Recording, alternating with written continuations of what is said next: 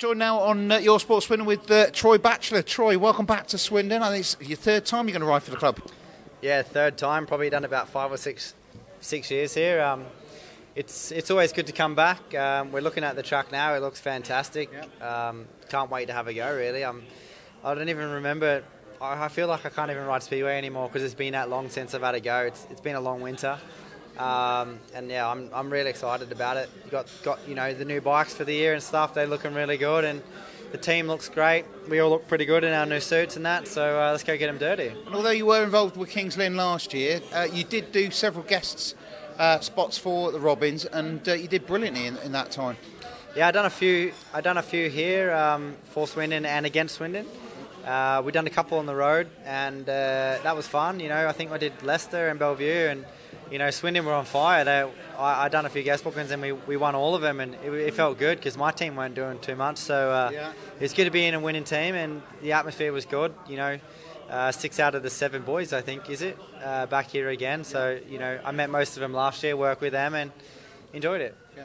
And uh, as I mentioned, you did start off riding for Kings Lynn last year. Things didn't quite work out right there. One or two things happen in the end. So uh, I guess when the fixtures come out, was was the Kings Lynn fixture the first thing you look for for Swindon? I think that's May the second, isn't it? That one. I think we're I think we're at Kings Lynn then, yeah. so that'll be interesting. You've highlighted that one already on your calendar. We uh, we'll be ready for that one. Yeah. Um, that'll be interesting. Their team don't look very good this year. Yeah. I put them for the wooden spoon.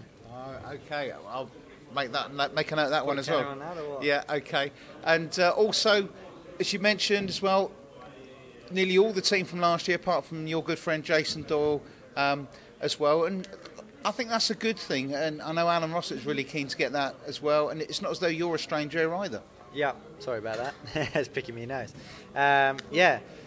Um, you, know, you, know, you know the track inside out here. Yeah, yeah. I've, I've done a few laps. If I ain't no good now, I'm never going to be no yeah. good. I've, I've done that many laps. But yeah, like you said, um, you know, good bunch of guys. They are the league champions, so obviously you know, you're not you're not keeping a team that hasn't done anything. They are they are winners. So uh, you know, hopefully I can fit in and uh, we can get another trophy. That would be great. Yeah, and you're going to be. I think you're going to start at number five. Nick Nick's going to be no, number one. Although uh, aspirations to be number one, I would have thought.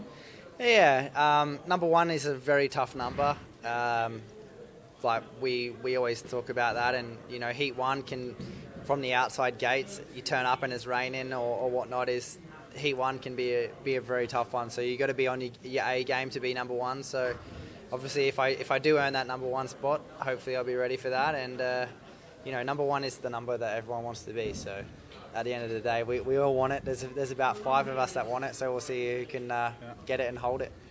Your team manager Alan Ross has, has said uh, this week uh, you're a wiser man. you have got a wiser head on your shoulders these days, a bit more mature. Would you, would you agree with him? Well, I'd like to say the same about him, really. um, yeah, I don't know. It's all part of growing up, isn't it? I'm, yeah. I've hit the 30s now. Unfortunately, um, I don't like to say it. Normally, everyone, I still pretend I'm in the it's 20s. It's okay to be in the 30s because I'm still there myself, mate. yeah, yeah, yeah, no, it's, yeah, it's all part of growing up. So uh, I need to uh, crack on really and, and make the most of it because, you know, I've I've had a good few years and I've learned a lot, but now I would say is the time that yeah. you need to put all that experience into practice and uh, you know make the most of these these few years that you got left and. Uh, you know, there could be GPs back on the cards eventually and stuff, but uh, my main goal for now is to build up and, and have a good season with all the leagues and uh, we'll worry about that next year. Yeah, I was going to ask you about that. Uh, GB qualifiers this year, and, and also the uh, this new uh, um, nations competition coming in instead of the World Cup, where you'll be up against GB as well. Um, so a lot, lot of other things to go for as well. Yeah, there's always um, you know a few uh, side side ones you can go for, like the World Cups and the GB qualifiers. I'm not doing them. You have to uh, you have to race in Australia and finish top three in the championship to, to yeah. get that spot. So I didn't do that. I had a break um, yeah, there's, there's plenty to be excited about, um, to get involved with if you're good enough, and uh, I'd like to, to be as busy uh, as I can and uh, win as much as I can. Brilliant. And uh, a lot been mentioned about uh, the humour and the banter that you bring to the pits. Uh, you, are going to be your usual uh, entertaining self in the pits, helping out the other riders, I guess. Oh, I don't know about that. No one pays me to make, make jokes, but uh, nah, we'll, we'll, see what happens. Um, you know, they are a good bunch of lads. They are I, they kind of make me feel a little bit old, really. Um, but no, they're they're they're good. We have a good laugh, you know. Frenchie and we call him Frenchie, which is David Bellego. Yeah, yeah. Um, you know, we're always kind of taking taking the mick out of each other and uh, you know, it kind of feels loose. Like it, it's not like the first day of school where you don't really know anyone or anything like that. It just it just feels natural. So Brilliant. I think it'll be good. Well, it's great to see you back here, Troy, and I'm looking forward to a fantastic season from you. So am I. No pressure then, yeah. Yeah.